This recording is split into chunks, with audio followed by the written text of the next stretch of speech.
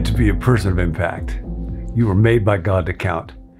And we're learning today in the master class. We're, we're going to be learning from masters of the spiritual life, people who walked closely with God and made a deep impact on their world. Right now, it's a man named Ignatius, Ignatius of Loyola. And I want to talk about one of the primary prerequisites. If I want to be able to impact the world around me, I need to have a realistic view of what that world actually consists of. And that actually begins with a realistic understanding of myself. I must become deeply self aware. I must be willing to examine myself rigorously. And very few people have ever done this or passed more help along to other people more than Ignatius of Loyola. I talked uh, last time we were discussing his life about the role that setbacks and challenges and frustrations and disappointment played. He thought he was going to be a great soldier and a courtly romantic figure. And then he was injured and humiliated by losses. And then it took him a long time to figure out what did it mean to follow God and serve God. Chris Lowney writes about him. Uh, how do you become a successful effective person of impact. If Loyola's suggested route involves a wrecked leg, a year long pilgrimage, a year of intense meditation, and a couple of arrests, most sane people would say no thank you and opt instead for the old fashioned way to get to the top, get an MBA, and hitch yourself to a powerful mentor. However, he goes on, if it were not for Loyola's mishap, militarily and his injury, for his difficulties and for his setbacks, very possibly he would never have taken profound stock of his strengths, weaknesses, values, and life goals. And if he had not grappled with that, if he had not grappled with who he was and what he most deeply believed, and what personal resources he had, and why he had failed along the way, only by asking, asking and answering these questions does one develop the capacity to make an impact in life. So let's think for a few moments about what does it take to have an honest appraisal of myself and my life, who I am, who I want to be, and what gets in the way. Our old friend Lou Smedes writes in one of his books, a pretty good person, about the great problem that we're addressing here. And it's what Lou calls a corrupted consciousness. That is our ability to distort the thoughts that we have in a way that will serve the viewpoint that we would like to adopt of ourselves and other people and the world around us. And he talks about how nations are very capable of this. How in 1930s Great Britain, the leadership viewed Adolf Hitler as a reasonable man because they wanted to view Adolf Hitler as a reasonable man. They did not want to face up to what it would take to combat him if he wasn't reasonable. And of course, he was not. Lou writes about how Albert Speer, who for many years was Hitler's favorite, writes uh, in almost a comical vein about Nazis' Germany attempt to distort its understanding of reality for quite a while, English bombers were just pelted effectively by the Germans. And then eventually, United States started sending in jets to accompany them, and things changed. A certain General Galland reported to Field Marshal Goering that American fighter planes had joined the battle for the German skies. The Germans had shot one down, so they knew for sure that now America was in the sky. Goering screamed, That's nonsense, Galland. What gives you such fanatic ideas? But, sir, they were there. Goering said, I herewith give you an official order. They were not there. Do you understand? The American planes were not there. And of course, reality is not the kind of thing that you can change by issuing an order. But we all try to do that, not just nations, but individuals. Lou goes on. We close our minds to reality we do not want to be real. A mother sees clear signs that her son is on drugs, but closes her eyes. It would hurt too much to know. A husband shuts out clear signals his wife is having an affair. It would hurt too much to know. Getting older, a teacher closes his mind to signals from students that his lectures are rambling misadventures and boredom. It would hurt too much to know. A famous teacher of theology at a great American seminary lived a notoriously wild and illicit sex life after he died, and the truth was published in a book by his indulgent widow, I asked a colleague of his how it was that nobody at the seminary knew. We all knew, he said, and we all refused to know that we knew. What makes self deception so hard to overcome is we never consciously set out to deceive ourselves. A liar may get up in the morning and say, I'm going to lie to my wife today, but nobody ever says, I think I will lie to myself today.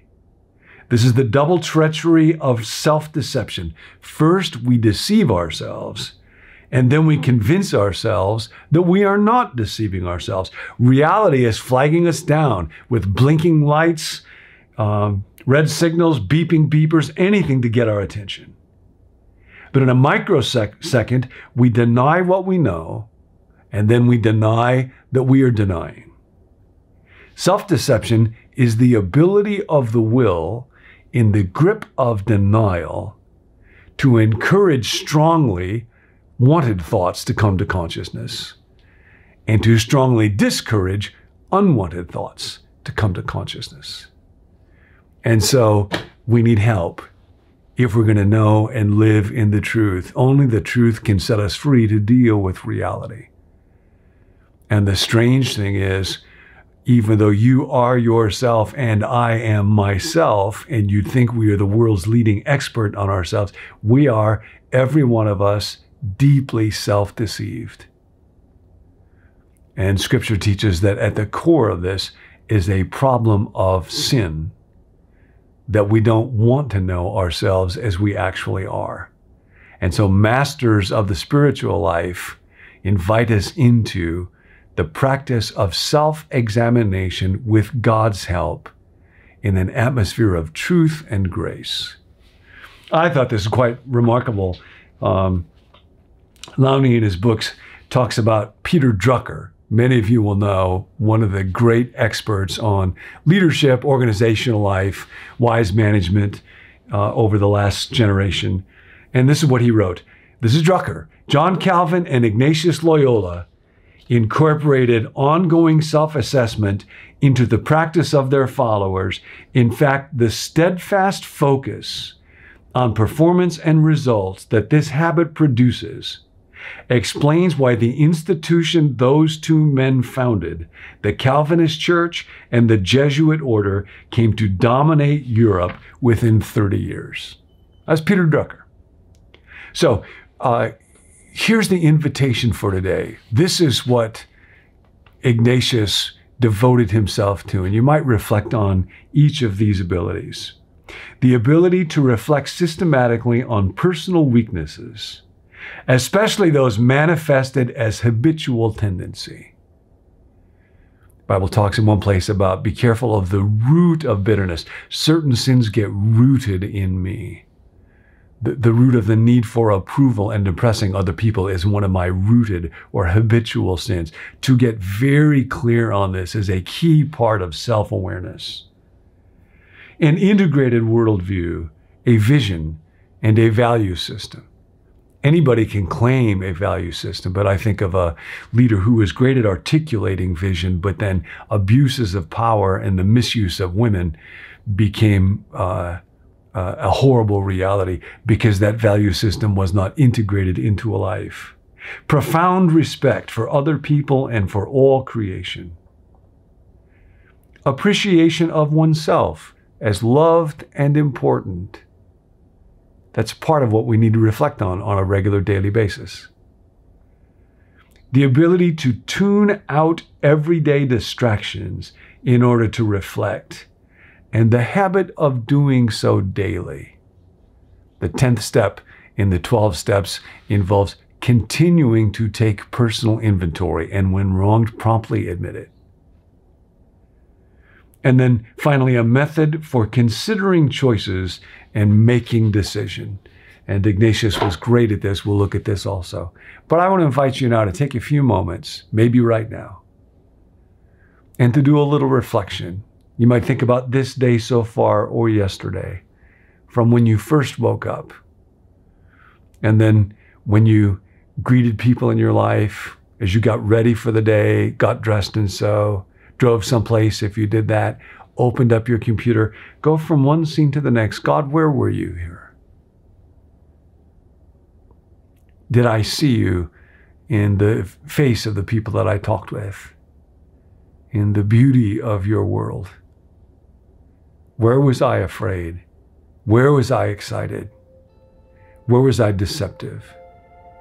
Where was I thrilled to be following the values that I believe in most deeply? Where did I blow people off and ignore them? Where did I see your image in them? To invite God to show us the truth about ourselves, to reveal to us what the psalmist calls our hidden sins. That is a central gift for people who want to impact the world as it is. And that's you. And that's me. Make today count. Thanks for joining us here at BecomeNew.me. If you'd like to receive the daily emails that go along with each video, let us know at BecomeNew.me at gmail.com. Or if you want prayer, you can text us at 855 888 0444.